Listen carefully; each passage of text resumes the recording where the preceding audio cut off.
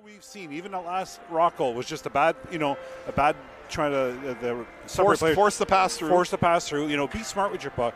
You've seen this last little uh, event in, in, the rock zone. It was just a bad pass, and it created all that havoc. So you want to play smart with the puck and puck management. And you know, if you're the Rock right now, you don't mind going to overtime. No. So you just want to make sure no mistake. Geoffroy, wow, a bullet. Bullet. And he's had a great game.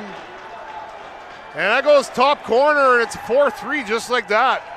And, and, what I was about to say doesn't really matter anymore. That's the story of my life, actually. you know, because you don't you don't mind just making no mistakes and taking no. it to overtime because they're in a different division. That's right.